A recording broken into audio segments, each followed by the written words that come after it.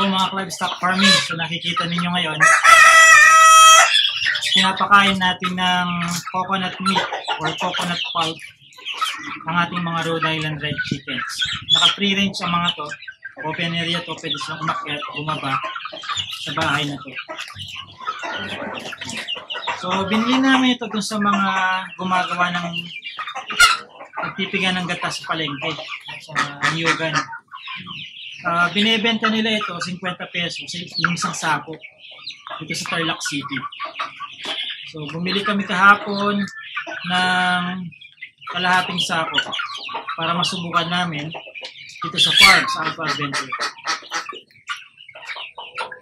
Uh, ngayon, uh, nakita natin, gusto-gusto ng mga manok to.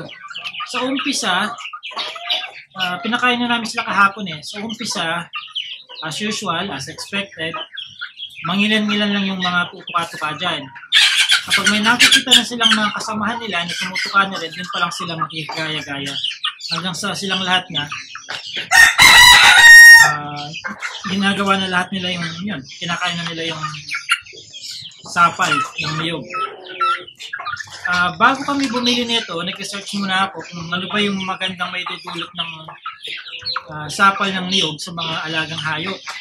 Kasi nakikita ko itong uh, pinopost ng iba, nakikita ko rin sa YouTube.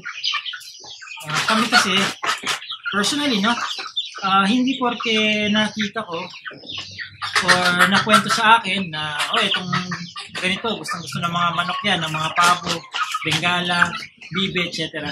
Hindi porke nasabihin ako ng gano'n or nakwentuhan ako ng gano'n o may nabasa ako, napanood akong gano'n, eh makikigaya-gaya na rin ako. Uh, personally, ang gusto ko ay malaman ko muna ano ba yung magandang uh, may dudulot sa mga alaga ang pagpapakain ng ganun. So, nag-research muna ako. And I found out na mayaman pala sa vitamins and minerals yung sapal ng niyog. Mayaman siya sa calcium, potassium, at saka sa phosphorus. Ayan. And nakakatulong din daw ito sa metabolism ng mga alagang hayop. Tapos, nakakaganda rin daw siya sa balahibo nila, sa feathers, pampakintab. Especially kung hindi pa naman sila layers, no? Kasi kung layer na mga yan, nangingitlog na, ayaw ko yung maganda pa rin ng balahibo kapag layer na. Ibig sabihin, napupunta sa balahibo yung protein na dapat ay doon sa itlog. So, another trivia yon no? Ayan. Ano pa, uh, meron, meron daw element ang sapal ng niyog na antibacterial, antifungal, at antiviral. So, preventive measure sa maraming klase ng virus ang pagpapakain ng ganito. So, I said preventive, hindi, hindi siya treatment, no?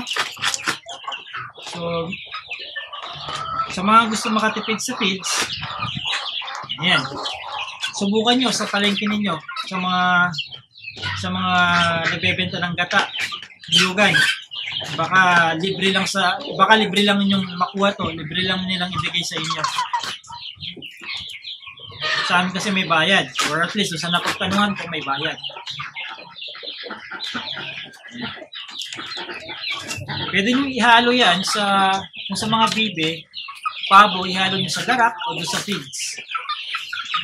Kami kasi sa Alpha Adventure, 100% pa rin ng feed requirement ang binibigay namin. Add-ons lang po. Hindi namin binabawasan yung feed. Uh, feed intake nila. Naka-budget naman yun. Ayan.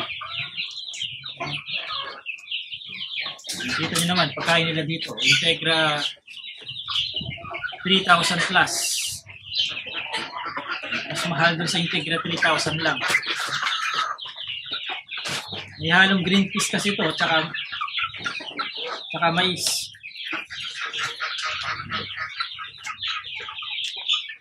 Yan, gusto, nila, oh. Papakita ko sa inyo yung iba pa doon. Binigyan namin yung ibang Rhode Island Expo sa gusto nila, napakita ko sa inyo.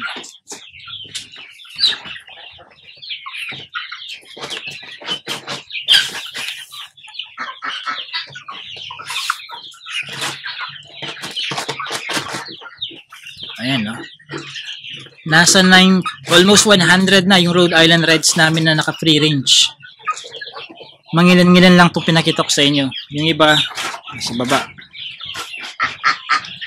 Oh, ayan, no? binigyan namin. Binigyan ko siya sila kanina dyan. Ito, pati itong Cherry Valley Duck, nakit na rin. Bibigyan ko rin ng mga yan. Naka-free range yung iba dyan. Ayan, dyan na sila.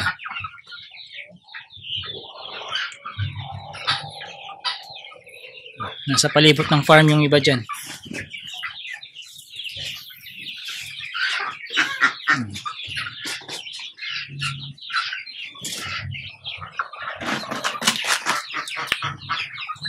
So kung nagtitipid kayo sa patok ha, magandang ihalo yung niyog. Yun nga lang, o, pakinggan nyo to, yun nga lang, mapapanis yan. So at least within 24 to 48 hours, mapaubos ninyo. So kung ilan lang yung alaga, huwag kayong kukuha ng 10 sako kaagad. Hindi man nila mauubos kaagad yon. Masisira lang. Siyempre may gata yan. Di ba yung ulam na may gata, pag hindi nakaref, mapapanis. Ganun din dyan.